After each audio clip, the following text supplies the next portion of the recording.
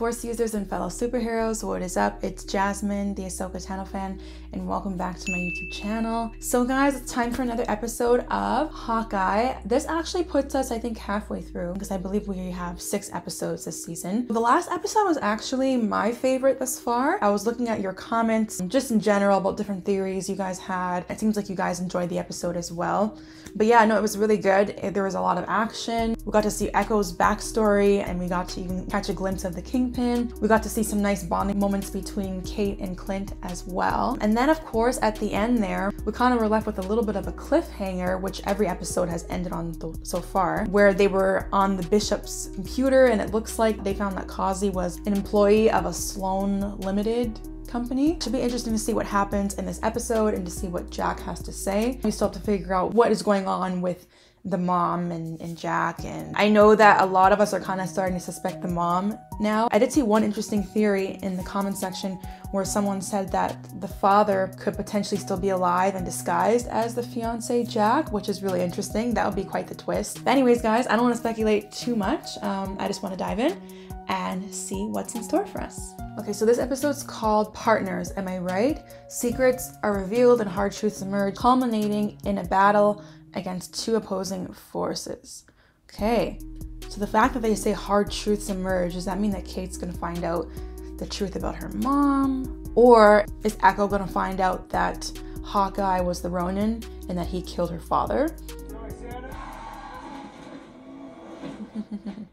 I feel like them running over Santa is just so symbolic of their Christmas being a train wreck so far because of everything going on. Oh yeah, she's supposed to meet with the cops. So who locked her out? Was it the mom? Was it Jack?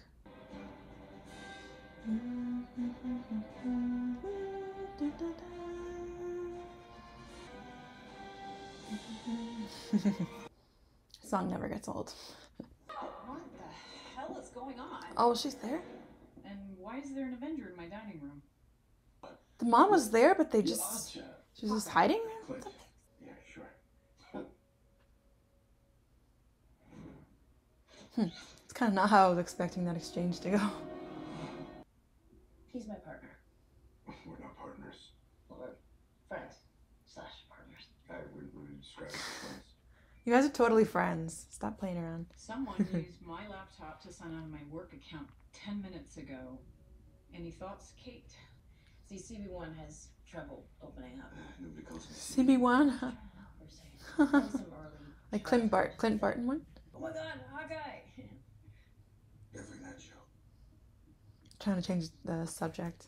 By the way, thank I would like my daughter to start telling me the truth. Yeah, I don't think that Jack is the original father disguised. I don't know. It's possible, though. Case. But you are working together. Yes. Well, I guess I'm just gonna have to trust everyone at this table to do what's right. Oh, he sees that's the Ronin sword, right? Oh, Go close. Okay, We should keep staying. Was that an invitation or Don't get my coat. a threat? Or...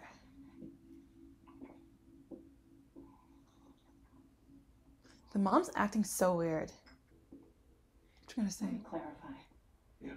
She is not a superhero. Oh, yeah, come on, into that. I mean, she's pretty good at all this, but Natasha Romanoff was pretty damn good at it, wasn't she? Hmm, damn. Being good isn't always enough to keep you alive. Being good isn't always enough to keep you alive. kiss? There's almost two ways to read that line. Like good is in good person too. Like she could be bad, the I mom. Cannot lose case. So you'll forget this case? I can't do that. But what I can do is ensure your daughter stays safe. She's gonna try and kill him. Yeah, because what I was saying was that line. She, oh, he stole it. I knew it. Oh, shit. Mm-mm. Oh, Laura, that's the wife. That's wifey right there. Um, yeah, the way she said being good isn't always enough to keep you alive. There's two ways to read that. It's like good as in skilled or good as in a good person. So maybe that's hinting at the fact that the mom is not good. Like she's actually a It's Could you call me back, please? It's urgent. What is she gonna do? Try and kill him? I talked to that friend of yours, and learning Russian and jockeying a ton. Tracksuits. This one's uh, front. Jack's CEO. You laundering money for the dead guy? Let me guess, you're gonna need another day. Verschwinde nach mehr auf dem Gelände. German. I don't know if they spell German. It's Why? I got a destroyed like years ago? Yeah, I'm a little banged up, but nothing's broken. Nothing's broken, huh? Put your feet up. Ice them if you have to. Okay. Love you. Wow. I'll see you soon. He's got a good wife. She's not one of the wives that's like, stop doing that, stop running around. She's like, what do you need me to do?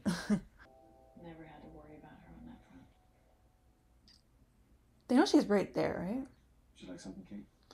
Yeah. What is going on with these two? They just act so weird. Mom, I really need to talk to you about Jack. I think can we um can we change the subject? Yep, she always wants to change the subject. I, She's uh, guilty. need your- Sure, there's plenty of dancing. Well, my mother doesn't dance. I beg to differ. Darling. Chestnuts roasting on an open fire. I feel like everything they say has multiple meanings.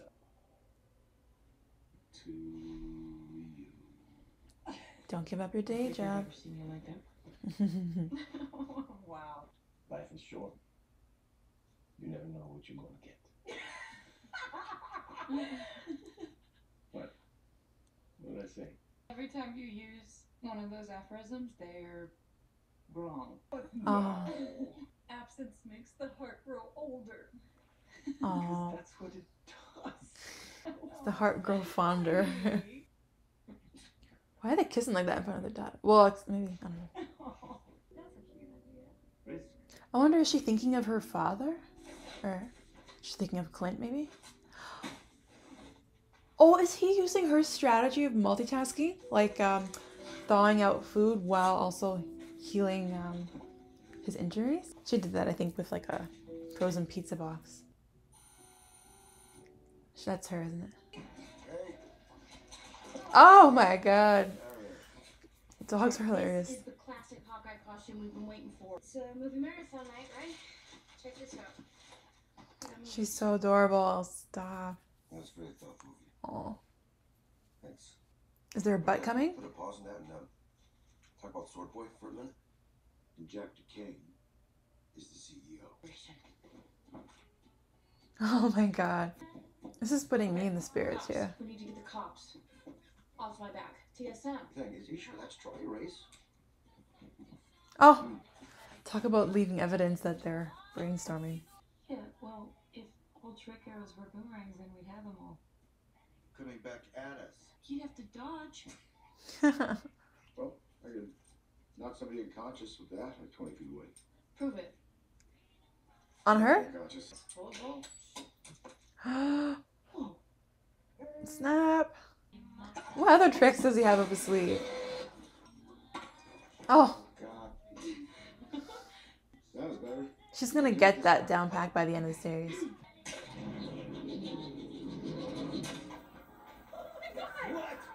Oh Whoa, not bad, girl. Best shot you ever took. Uh, the one I didn't take. Never mind. Should have said. Well, come on, you can't do that. Never mind. It's nothing. What? Look, come on. What does he mean by that? Like leaving the profession or It's not the something? right. It's just not a good story. Oh, or is he talking about him and Nat? I was sent to take her out. And when I got there, when it was time, I couldn't do. You mean Natasha? Mm-hmm, thought so. She was the best it was. Damn. I could really feel in uh, Natasha's presence in this series, even though she's not alive. Oh, is he looking at his, that, thinking of his own family? You lost your family. Is that where you met Roman? Oh. When are you gonna tell her, Clint? When are you gonna tell her? It's you, isn't it? Oh! She went there. Everybody dealt with the blip in their own way. Oh, shit. I knew it. Because she, I was gonna say, she has good instincts, right? You were a hero. I was a weapon aimed by the right people, the right targets, Hmm. tied to my family. Damn. I, li- she always tries to see the good in him regardless. But do they know that the Ronin killed Maya's father? I don't know if Maya told them that, right? See, no matter what she finds out about him, she still idolizes him. That speaks a lot to her character. No, don't take it out. What if someone's in the house?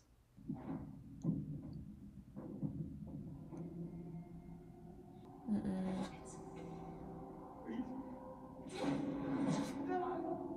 Oh my god, that scene never gets easier to watch. See, three days till Christmas, and we have three more episodes left. Coincidence? I think not. Tracer arrows stop moving. It's over by an NYPD facility down by the bridge. And uh, the LARPers, they're mostly first responders. One's a cop. the other's Okay, so we're gonna see the LARPers again. I like to think of them more as our arrows. Okay, go get our arrows. Because the last time we saw the LARPers, I kind of mentioned I was hoping for a little bit more from the scene, but maybe this scene will kind of add to the other scene. I guess we're gonna see Grills again. Oh, Sent me here on official Avengers business. I'm uh, his part. Basically, all we need is some casual run-of-the-mill evidence tampering. If you make it worth my while. Worth our while. payment? Whatever, whatever you want. It's gonna be great. But you never asked what they wanted. Outfits. Kazi, what is he up to? Oh, Surprise. Just want to talk. But before I go, I need to put this Ronin situation to bed. Look, I know you have. is he going to? reasonably nuts to Tell the him? guy. You know what my boss wants. And you know what he's already done. So what do you know? I know he doesn't like his attention, that's for sure. The Kingpin. I know Maya's obsession, one down to one down, is dangerous. hmm That's what he talked to her about, right? Maya's need for vengeance is gonna get her killed. But Oh. this- Or maybe it's the box covered under the seat. Mm. Down here. This is the final warning. Let's get it done. Hey, can I have my gun back? Yeah, what do you think?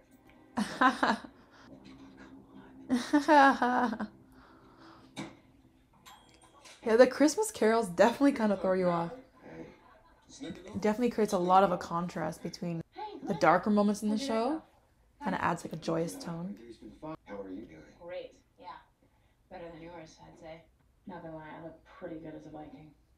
I, uh, you know, I, I made them. We get you the arrows and info, and you get us materials for a new costume. Enough materials to make your costumes plus two more. Oh, is that when they're gonna make Hawkeye's costume? Needs a little help with theirs. Yeah. I asked you to simply retrieve my arrows, not stage a play. Um, we're a we're a guild. wow. Wifey came through. There to go. We gotta we gotta go. Oh yes, thank you so much. Appreciate it. Uh, This is my bag. What? Okay. You didn't bring your own bag. My wife gave me this bag. It's embroidered. It says bombshell. He'll get it back to you. Yeah, I'll make sure of it. Oh, I promise. that's kind of a messy situation. Better not lose the bag. Something very important is pinging inside that apartment. It was stolen from a black market auction. I need it back. Kate, you always want to prioritize a quick exit over a quick entrance. So when things go sideways, and they usually do, have an exit strategy. If you see anything out here, just give me a signal, Kate. All right? Oh, Kate. where did she go? Kate. Kate. There you are. That your inability to act like a grown-up helps you get your way. No, it's not. But that is what it is. Good evening, sir. Can I help you with your bags? Oh, thank you. Don't engage. Hmm, I wonder if she's gonna mess up somehow. Like, Oh, relax. I'm taking the elevator. I'm sorry. What was that? I'm sorry, I wasn't talking to you. Can I tell you a secret? she talks to herself. She can say, I was talking to an Avenger. He's in my ear. Maybe she stopped talking. Why is she saying all that? Partner. I'll just uh, take this back. Are you sure? I, it's really no problem. All right, you take care now. Why did she say all that? We're good. Is the key not working or something? Oh, okay. Room's all clear. Hmm, it's got that sensor there.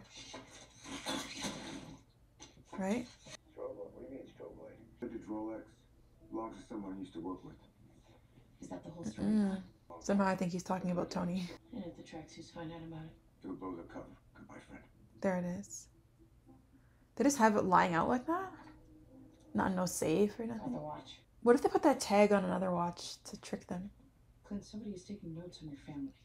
Oh, Ella, age 14, son Cooper, age 16, son Nate. An alarm. It's a silent alarm for people that can't hear. It was Maya's apartment. I, I'm coming. Clint, what's oh shit. We knew this wasn't gonna go smoothly. Clint? Maya's here. Yeah, I can see that. Maya's on the roof with me. Wait, what? Who the hell am I fighting then? Who is that that he's fighting? Don't tell me a LARPer. Who is he fighting? Oh. Oh my god. Oh. I guess there wasn't enough of an incline there. Oh. Is that? Did Maya just kick both of them? No, okay.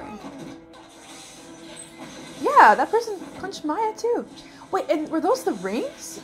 Almost kind of look like Shang-Chi's rings. Sorry, maybe not though. A quick glance.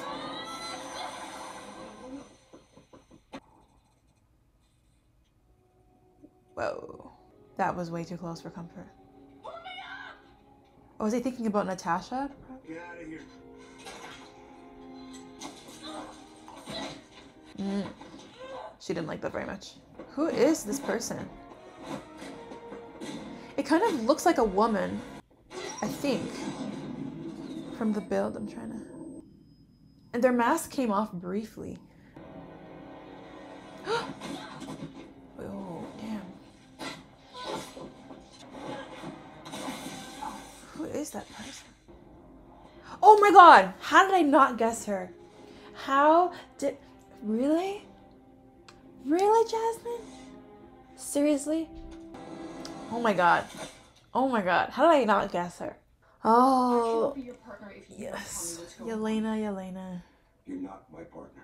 Do you understand that? You never were. Ouch. Someone is hired. The Black Widow assassin. She's gotten very real. Very quickly.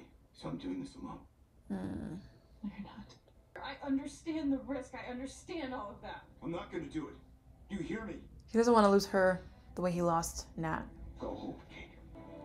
But see, I would argue they're already in it together. She's already a target, so they might as well work together. Oh, don't tell me that's how it ends. Oh my god. Okay, okay.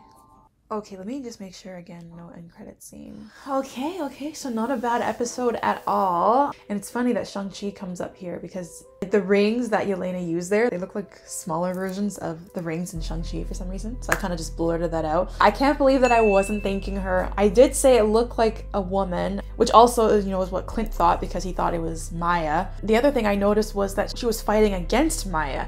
So right away that told me, you know, they're not on the same side. I don't know, for some reason I wasn't guessing Yelena, but of course it makes sense that it was Yelena because if you guys watch Black Widow, spoiler alert, you'll know that the post-credit scene showed Yelena being approached by uh, Contessa to take out Hawkeye as a target. And so we knew that she was bound to come into the series eventually. Uh, I think even Florence Pugh said she was going to be reprising her role as Yelena in the series. Things have definitely gotten a lot more serious very quickly, as Clint said. He now has multiple people after him. He doesn't want to involve Kate in that. You could tell, even in that scene alone, the whole apartment sequence at the end there, there are a lot of parallels between that and Endgame. When Kate was hanging off the edge of the building there, that definitely was a parallel in my eyes to Clint and Natasha hanging off the side of the cliff in Endgame.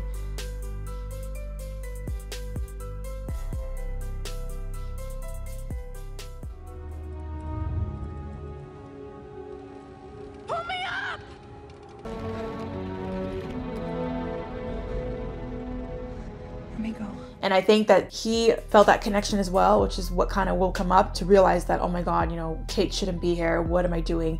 I don't want to lose her the same way I lost Natasha. It's very ironic because you have parallels to that scene between Clint and Natasha. And then, of course, Natasha's sister shows up um, out of the blue. So this series just got a whole lot more interesting. I'm wondering what's going to happen now because Maya has her own sights set on Clint. So between the two of them, Yelena and, and Maya, I don't know how that's going to work. She could just be completely on her own, only caring about taking out Clint and not caring to get involved with Maya and the tracksuit mafia. Or we could see her end up working with Clint and Kate against Maya. Or she could join Maya maybe if she finds out that they have the same target. I don't know.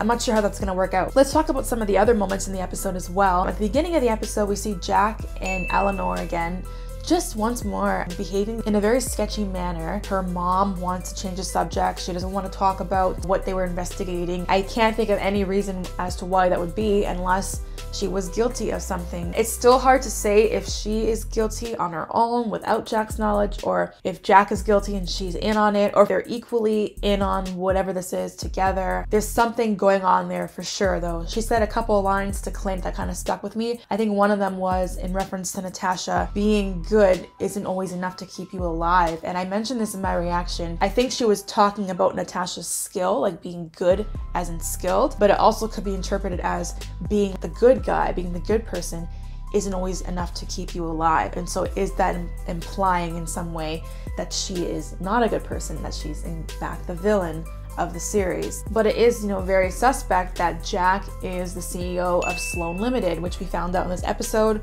was a shell corp used to launder money for the tracksuit mafia. That definitely does tie him, Jack, to the tracksuit mafia. We don't know what role the mom plays. We don't even know if the mom is really behind this and she just somehow put Jack's name on paper. We saw Clint get to talk to Kazi as well, which was really cool. They both have the common goal of wanting to stop Maya's quest to seek vengeance on the Ronin for what he did to her father, right? They both think it could lead her down a dangerous path. Is it possible we could see a potential alliance form here with Hawkeye and Kazi? We didn't see any Kingpin this episode, but we did hear him alluded to a couple times, you know, like Maya's boss, and he doesn't like this attention. And so they're definitely just trying to build him up a little bit for, I think, what would be his appearance in the series. I, I do expect him to make an appearance in the series. It would only make sense since they've been building him up so much. But I have a feeling that when he finds his way into the show, it's not going to be good for our heroes, unfortunately. Another big question from the episode is who do the Rolex belong to, or who does it belong to? Um, because Clint describes a person as uh, an old friend. My first thought was Tony Stark because it would definitely be in Tony Stark's character. Or could it be someone else like Nick Fury or something? Or Steve, who's retired. Could it be someone that's known by the Kingpin? Because the Kingpin seems to specifically have an interest in this watch, right? It could be even Daredevil, maybe. In the comics, the Kingpin actually killed Maya's father, then convinced Maya that it was actually Daredevil who killed her father. So it's possible it could be belong to Daredevil. I'm not sure, but whoever is behind that watch, whoever's the owner of that watch, definitely has a role to play in the story, in this mystery. I'm also wondering about Laura. Is it possible there's more to her backstory that we haven't yet seen? I don't know if it's a coincidence, but she did speak German briefly there, I believe, during one of their conversations. And I don't know if that was just kind of a nod to their background or was that a hint to something else? Is she some type of agent or something? I don't know if I'm looking too much into that, but it's just something that I did notice. What else did we see? We got to see the LARPers again in this episode. If you guys watched my reaction from the other episode they were in, which I think was episode two, I wasn't a big fan of this scene because I kind of felt like there wasn't really so much that came out of it. I was kind of expecting more. I think seeing them again in this episode, it gave them more purpose. I found myself during their first appearance asking like, what's the point? Okay, he gets the suit, and then what? How does this further the story? And now we're seeing how it furthers the story. I wouldn't even be surprised if we see the LARPers having more of a role going forward, maybe um, helping Kate and Clint in other ways. Another thing we got to see in this episode was Kate and Clint's relationship tested a little bit. We saw them have a lot of fun moments getting in the Christmas spirit together. But then towards the end there, he basically kind of coldly told her, You're not my partner, you never were. But we know that it comes from a place of love as well. We know that he does not want to lose her, as I said, the way that he lost Natasha. Now we're going to have this interesting dynamic going forward where Kate wants to be involved in this, where Clint kind of wants her to take a back seat. But yeah, guys, anyways, that's it for me. You guys let me know what you thought down below in the comments as always. And don't forget to leave a like and subscribe and share the video as well and I will see you next week for an all new episode of Hawkeye. Until next time, guys, take care and see you soon.